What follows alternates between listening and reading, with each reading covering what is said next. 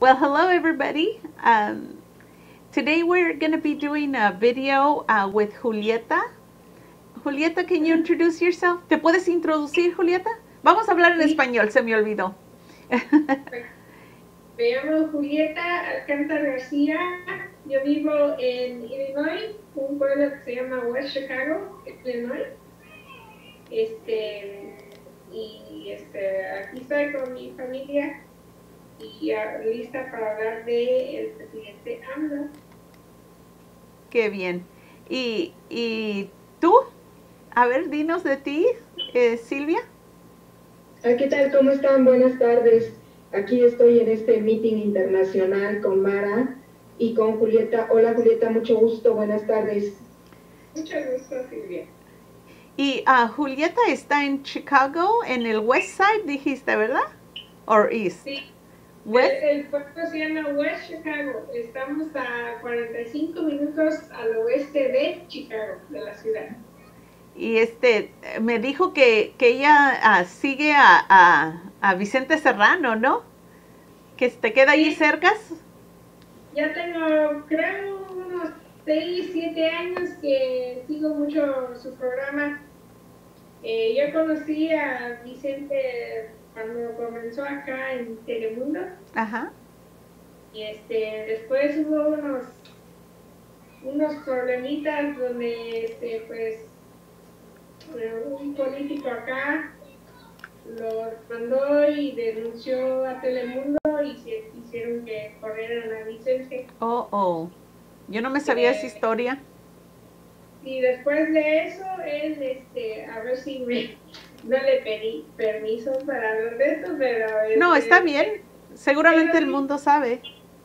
Él lo dice, Ajá. él lo dice, este, un- por cosas de políticas, influencia de un político aquí en Chicago lo sacaron de Telemundo. Oh. Y, eh, pero después, como pues él es periodista, Ajá. Este, buscando y todo entre él y su hermano Ricardo Serrano y otras personas que él conoce formaron el equipo de Sin Censura con Vicente Serrano y creo que ya tienen 8 o 10 años. Yo empecé hace 7 años a seguirlo porque fue cuando me di cuenta que tenía su, su programa. Ajá. Me que, que no, no se limiten a hablar. Ajá. Y yo, yo creo que más bien que bueno que lo tuvieron, porque ahora sí puede hablar. Puede hablar lo que quiere. y, Y una pregunta, Julieta. En el tiempo que tú llevas siguiendo a Vicente, ¿había hablado durante todos esos años alguna vez de Andrés Manuel? Sí, bueno, él habla de todos los, los políticos, ¿verdad? Candidatos y toda la situación de México, pero desde un principio que empezó Andrés Manuel a, a, este, tratar de, de ser presidente, pues empezó a hablar de él y este, em, él, creo que él tiene, vamos a decir, una agenda independiente, pero más progresista. Mm. Él dice él no hace campaña para pero muchas de sus ideas de Vicente y el equipo se inclinan a una, a una progresista para México. Entonces sí, pues apoyan mucho en su agenda al presidente. Entonces, eh, Vicente comenzó a, eh, a hablar acerca de Ah, Andrés what Manuel the heck? ahora a raíz de su campaña. ¿Qué pasó aquí? Eh, ahora a raíz de su campaña, Parece que se le fue su... ok, se le fue su señal, ok. Dije, bueno, ¿por qué está mi pecho allí? ok, este... Ya te digo que este, él hablaba del presidente Andrés Manuel y de otros personajes de México, ajá, pero eh, desde que su- antes de su campaña, cuando se especulaba que a lo mejor ajá, a ¿no? este, acá en este, Chicago hay un grupo de mortas Ajá. Eh, un señor que se llama Alfonso Ceiba, eh, me hablaba mucho también de del presidente ahora, AMLO, Ajá. y porque me despertó un poquito la curiosidad porque AMLO y este de- yo me acuerdo del, de cuando la primera vez que corrió para presidente Andrés Manuel Ajá. en el 6, me Ajá, acuerdo todo, Ajá. Perdió por fraude, yo como Ajá. que sospechaba que sí había fraude, pero bueno, las noticias lo negaban y otros personajes, pero ahora que, que nos damos cuenta de la verdad, Ajá. eh, es, que, que- que mal no eran las cosas transparentes, y, pero qué bueno que ahora sí, que ahora sí pues, Ajá. Bueno, y ah, Silvia, ¿tú qué, qué has sabido sobre eso? Ah, ¿Sobre qué? Sobre lo de que estaba pasando ah, con AMLO en, en eso que estaba diciendo ella. Pues bueno, durante dos, dos sexenios anteriores se le hizo una campaña completamente negra en contra a Andrés Manuel, porque obviamente no, no les convenía a ningún político que llegara a la presidencia. Ya conocían su forma de trabajar eh, porque Andrés Manuel fue gobernador de la capital de México, es decir, fue gobernador de Tenochtitlan, gobernador de la Ciudad de México, y sabían perfectamente bien que era una gente honrada, trabajadora a morir, porque ya lo, ya lo han visto, Nunca descansa. nunca descansa, pero lo que más, lo que más les importaba era que la honradez y la honestidad de Andrés Manuel no se conociera a nivel nacional para que los mexicanos no lo siguiéramos, porque pues ellos, los políticos que estaban, estaban acostumbrados a mm, saquear al país. Entonces, cuando Andrés Manuel se lanza para la campaña en 2006, le hacen el primer fraude electoral y eh, meten a Fox. Ah, Fox ahora lo reconoce, Fox ahora lo dice abiertamente, ay, que carajo. efectivamente que su, su fin era no permitir que Andrés Manuel llegara a la presidencia.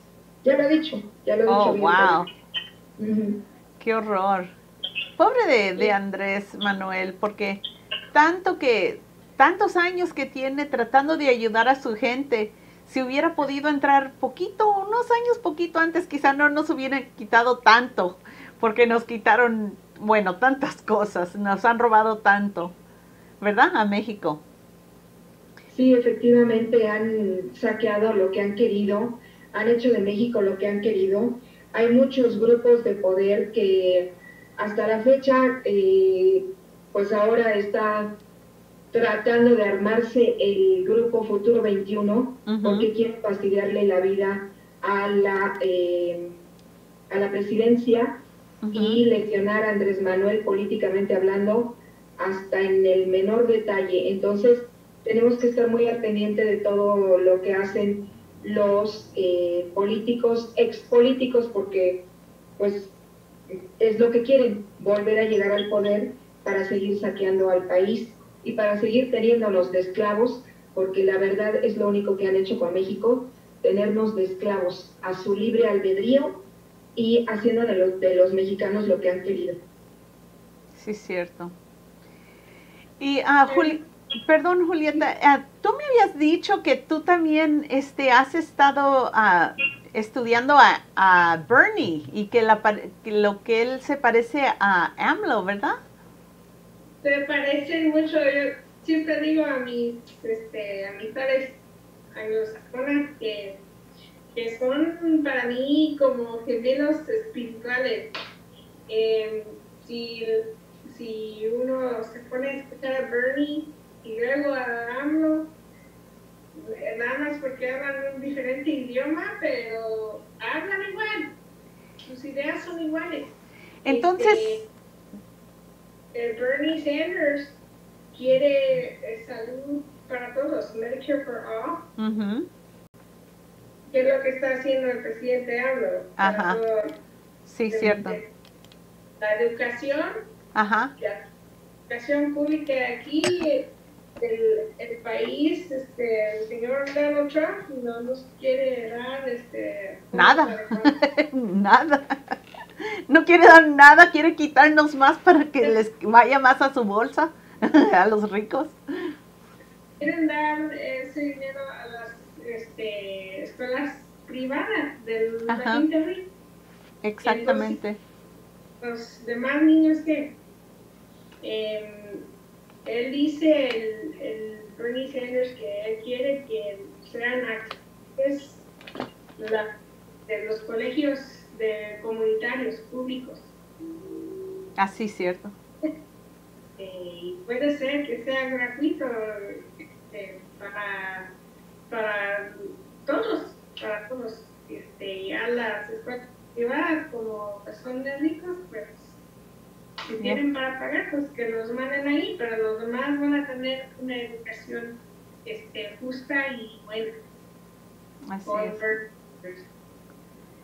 Y este también Bernie Sanders no quiere seguir impuestos a las corporaciones y algún por ciento y que Ah, por, perdonando impuestos, cierto. AMLO, ¿qué hizo ahora? No les va a perdonar impuestos a nadie. Ey, Y muchas cosas como ahora este Donald Trump tiene mucho, mucho corrupción detrás de él así es. y sus gabinetes hay un juez este el attorney general de aquí el fiscal William Barr es uno de los más corruptos y que lo está ayudando a evadir la justicia Así es.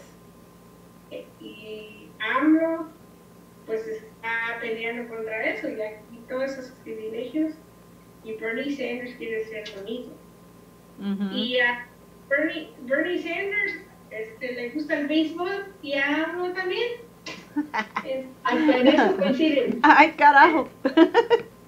diré que yo tengo me va a llegar un sticker de Bernie Sanders cuando jugó béisbol hace poquito y este está otro retrato que vi de, de Andrés Manuel también jugando ya no ya no puedo decir otras cosas de los dos que sean similares porque- Pero sabes que yo creo que los mexicanos que están en los Estados Unidos, que tienen la oportunidad de votar, que tienen interés, por eso yo estoy muy interesada de que los mexicanos, ah, que- bueno, no nomás los mexicanos, pero que la gente americana ah, sepa lo que está pasando en México con AMLO, porque el- igual como tienen ah, la las noticias, los medios completamente controlados en México, acá también en los Estados Unidos. No quieren que sepan. Aquí estaban controlados, Bueno, Ajá. ahora ya no. bueno, me refiero a que alguien les está pagando para que no ah, den la información de AMLO. Los únicos que lo están dando son los youtubers y, las, y los ah, periódicos o, o medios que no están pagados, ¿verdad? Porque los que, por ejemplo, eh, no me acuerdo quiénes son los dueños, pero yo sé que hay personas que son dueños de AMLOVisión, no de AMLOVisión. Yo soy dueña de AMLOVisión. De no eso porque te van a decir chayotera. ¡Chayotera! No, no, no hablo visión. Este, ¿cómo se llama Univisión o cómo se llama la, la- el periódico? Digo, la ah, Galavisión. ¿Cuáles son las que tienen allá? Ni sé los nombres ah, que en tienen. México tenemos a Televisa y TV Azteca. Eso es lo que quería Imagen, decir. Ajá. Imagen y, em, am, ¿cómo se llama el otro? Milenio y, y otras, pero son las principales. Pero aquí también, ¿verdad que en la en la- la- las ah, los medios en español tampoco en las teles están diciendo de AMLO? ¿Verdad que no? Cuando, este, bueno, sí pasan de AMLO, a veces eh, dicen cosas certeras. Eh, yo siento que lo hacen porque como viaja el canciller Marcelo Ebrard, y él la, enfrenta a la prensa aquí también. Entonces, eh, en esos momentos tienen que hablar, pero luego hay veces que ponen videos de cosas que suceden como a los este, migrantes que vienen del sur de México.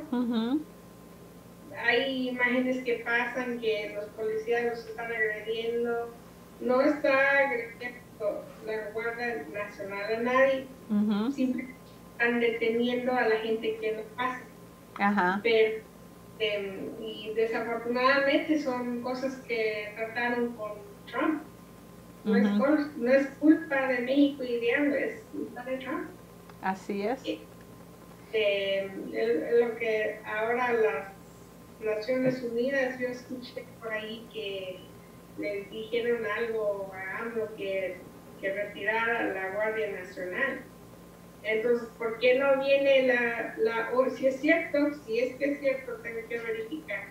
Pero si la ONU le da esa orden a México, ¿por qué no vienen aquí a ver cómo tienen los niños aulas? Ah, sí. Aquí y a decirle a Trump, porque aquí esto sí es este, cruel. Cruel, es crueldad contra los derechos humanos de estos niños que es abuso. Sí. ¿Por qué no vienen aquí a exigirle a Trump que dejen de estar haciendo? Y luego los niños que se quedan sin padres, que vienen y se, se llevan, la inmigración se viene a llevar los padres y deja a los niños sin, sin parientes. Y hablando de eso, deja decirte algo, una cosa muy importante, que he visto que hay una ley Ah, por si acaso están allí personas que, que, tienen niños y quieren asegurarse de que no, no, se vayan a quedar los niños sin quien los cuide y que no los metan al sistema de, de del gobierno. Si tienen uh, parientes o personas que, que se hacen uh, padrinos de los niños, se los entregan a ellos. Así es que si tienen esa oportunidad si saben de alguien que, que este, están en situación que los en veces los trámites no, no están completos de la inmigración y ya han metido papeles, pero están esperando, vienen y los, se los arrebatan antes de que acaben los trámites, aunque ya los hayan hecho. Y para los que están ilegales, que están apenas tratando de juntar el dinero para poder empezar los trámites, es, eso sería ah, Ah, terrible que los dejen a los niños solos, que les ha pasado mucho. Y aparte de eso, que necesitan tratar de hacer arreglos de anticipo, nomás para prevenir, para que no, sus niños no terminen en una situación donde se los van a quitar el gobierno, porque ya no, no se los quieren dejar a la familia si no tienen papeles de, de que ellos tienen control sobre ellos. Así es que, y si no tienen parientes aquí, que le pidan a alguien que sea padrino para que no les quiten los niños, ¿ok?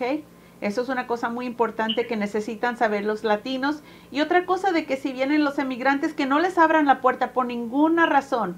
No pueden entrar sin permiso. Eso es otra cosa que había un video y, Silvia estaba, y yo estábamos hablando de que no les deberían de haber abierto la puerta. Porque ellos les echan mentiras y les pueden echar todas las mentiras que quieran pero no les abran la puerta, no les van a hacer caso criminal como dicen, nomás no abran la puerta y háblenle a un abogado o a alguien para que les ayude, uh, nomás no abran la puerta. Aquí lo que tienen que hacer los migrantes que están trabajando, que están eh, pues haciendo vida en Estados Unidos, pero que no tienen papeles, lo que tienen que hacer es informarse primeramente.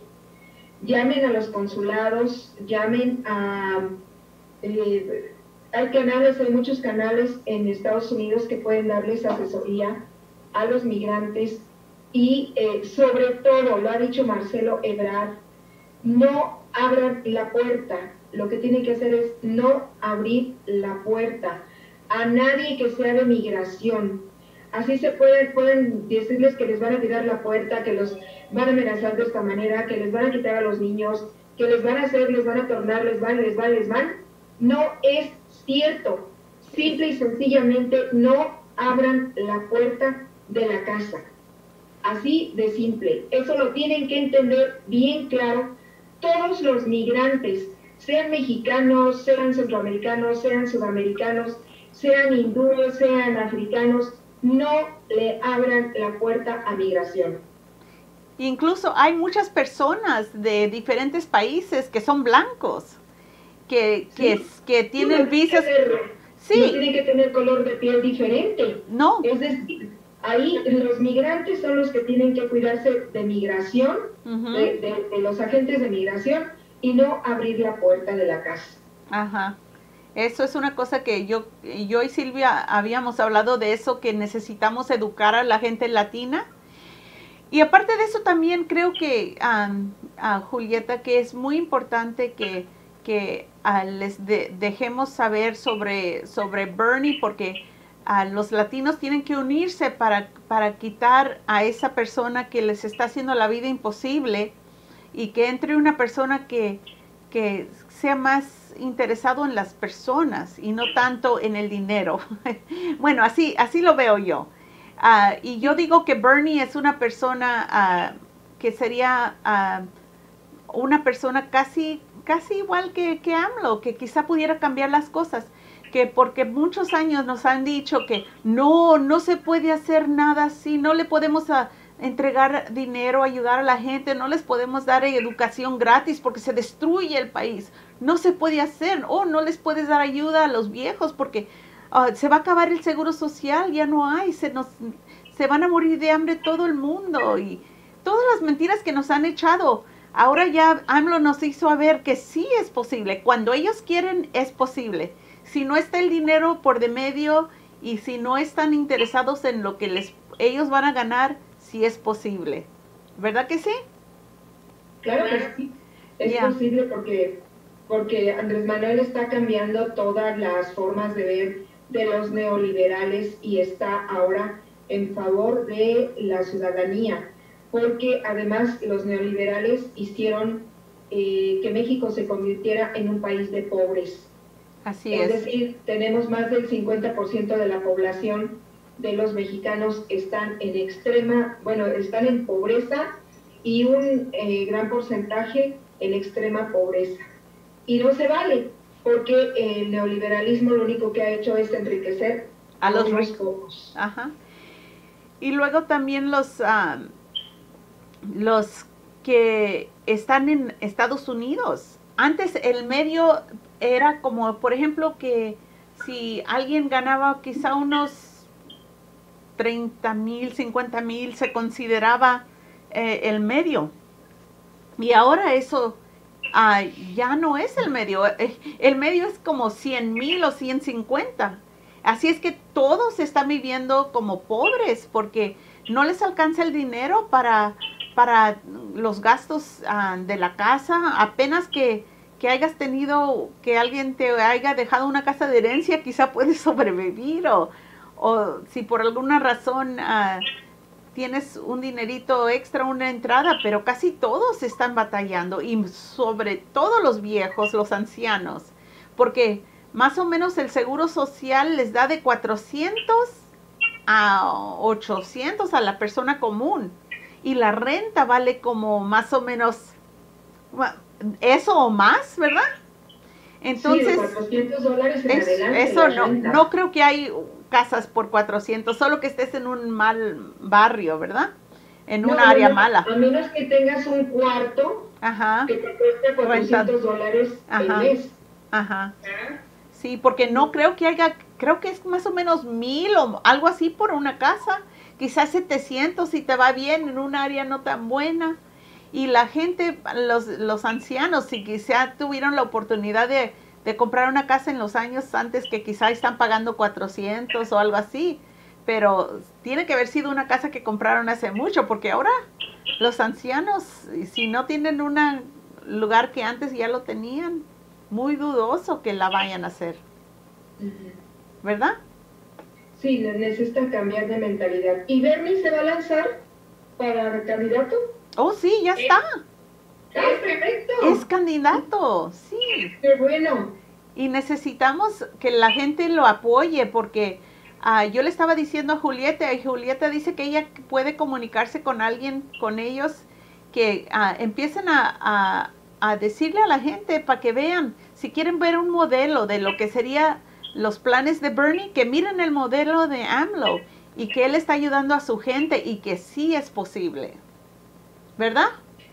Y yo tengo, este, yo soy parte de una organización eh, de inmigrantes, eh, Immigrant Solidarity Page. Solidarios, ajá. Eh, conocemos este, gente de campañas para muchos políticos y este está algunos compañeros están eh, metidos en una organización que se llama Bernie Crack. Oh, sí. Y este uno, un mexicano está ayudando aquí en esta área Ajá. este campaña entonces yo pues es algo que quiero comentar Dile, dile que se comunique con nosotros, lo podemos poner para que le ayudemos a apoyarlo.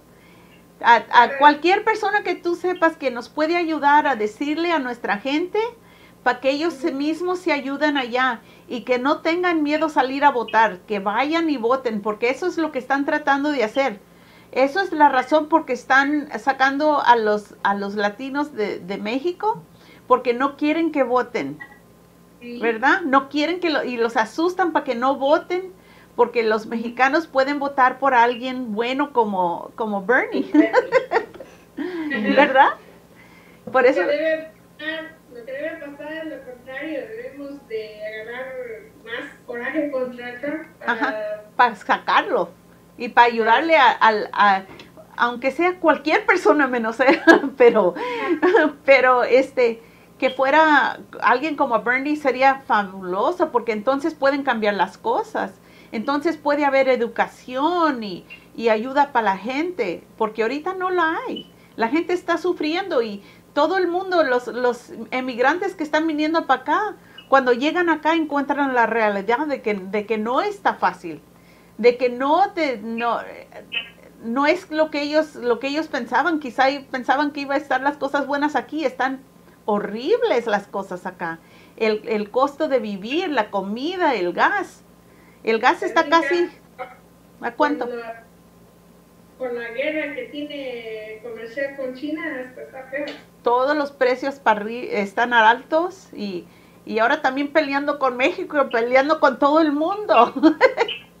no nomás con, con los chinos, también con nosotros nos quiere hacer en aranceles y nos está maltratando a nuestra gente y, y está causando xenofobia con los, con los latinos y causando que, yo digo que yo le echo la culpa de lo que pasó con, con el muchacho que fue y le, le tiró balazos a la, a la, gente, porque él mismo, él es que estaba propagando eso de, de que los uh, emigrantes son violadores y no sé qué cosas y que nos quieren quitar todo y que nos van a quitar el país y no sé qué tanto les está diciendo, pero los está convenciendo de que les hagan daño a los latinos y eso está mal.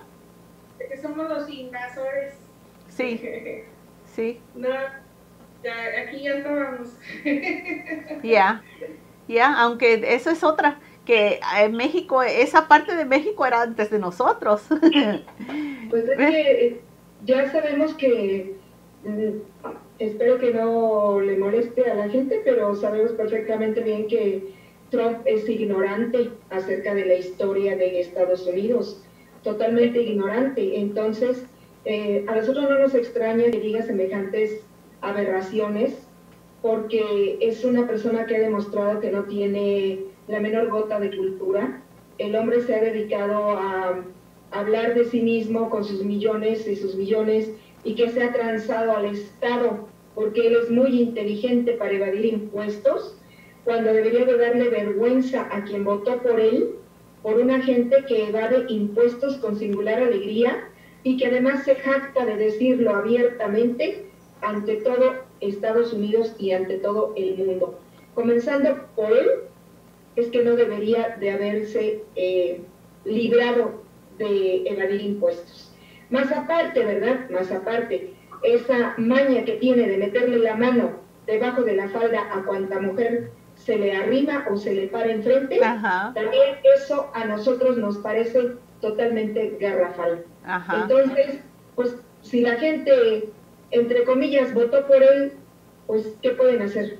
Yo espero que no la mayoría de los gringos, de los estadounidenses, sean así, porque eh, si ese, ese tipo de gente está representando a Estados Unidos, esperemos que no todos los estadounidenses sean de la misma manera que él. Así es. Puedo decir que lo que pasó fue un poquito fraude del colegio electoral. Sí. Y también eh, quiero también decir que eh, despertó él una gente que estaba dormida y este despertaron porque tocó al son que, que quiso que quisieron ellos les dijo lo que ellos querían escuchar y entonces ahora por eso este, a lo mejor se me muere mi teléfono este me está picando ahorita que disculpen si se va. Pero este lo que estoy diciendo es que la base de él racista este, despertó, pero los demás, eh, yo tengo mucha gente conmigo, anglosajona americana, que me sigue mucho cuando estoy subiendo los videos de Andrés Manuel. Eh, interesa mucho este, algo real, algo, progresista. Les interesa mucho la agenda de él, que la tengamos aquí y ellos no quieren, ellos no quieren este, una persona que, que, no es un buen ejemplo para cualquier niño de que, quién, es, quién debe ser el presidente. Exactamente, así como a Andrés Manuel decía, este, que antes los miraban a los políticos rateros como, ¡Uy! Le decía a mi hijo, cuando crezcas vas a ser igual como tremendo ladrón. los están usando de ejemplos. Pero... Esa es la imagen que, da, Trump a la juventud y a los niños en Estados Unidos. Es una verdadera vergüenza. Así es. Bueno, Julieta. Este, si, si quieres uh, ir a buscar un cargador o con, para conectarlo o si quieres que, cancelamos ya. Aquí, bueno, también eso podemos hacer. Ajá. Porque si no se va a hacer muy largo y sabes que la gente se cansa ah, y no tiene tanta retención Está bien. para estar en un video. Está bien y no, no quiero que se te acabe. Entonces, uh, si quieres, otro día hacemos otro video y, te comunicas con las personas que sabes de, que sepan para que les ayudemos ah, con lo de Bernie, que se comuniquen con nosotros y nosotros podemos hacer un video con ellos. Este es Intelectua, Intelectua ah, es Silvia Diaram y no sé si han visto, pero ella tiene un corrido que escribió para AMLO y ya lo puse en mi canal y lo puse, ah, ella lo escribió y lo cantó este Blanquita, Blanca a Pasapera. Ella es de Perú y trabaja con uh, Casinelli. Y, y este, yo la canté primero para que les diera una idea cómo va. Y luego dijimos, a ver si hay alguien que lo quiere cantar, que lo cante la gente y nos manden samples. Que nos manden, en, en el video que hice yo tiene las palabras. Si quieren aprenderlo y nos mandan para que veamos, quizás los ponemos. Ah, para ver quién sabe, alguien más, Blanquita lo hizo muy bonito, no sé si alguien lo puede superar, pero el mío nomás... El, el, objetivo de este, de este corrido, Julieta, es que ojalá la mayoría de los mexicanos se lo aprendan y que ahora el 15 de septiembre, que tú sabes es el día de nuestra independencia en México, ojalá que todo, todo, todo Que se las canten. Eso, eso sería fabuloso sería increíble que, que, se lo, que se lo cantaran al señor presidente, porque necesita mucho nuestro apoyo moral. Sabe, él sabe que tiene la mayoría de la población, sin embargo necesita el apoyo. Eh, yo te invito a que vean, eh, tus seguidores, que vean en, mi canal, el canal de Mara, ahí está el video, y que le den like, que se suscriban y que den a conocer el video por todo Estados Unidos.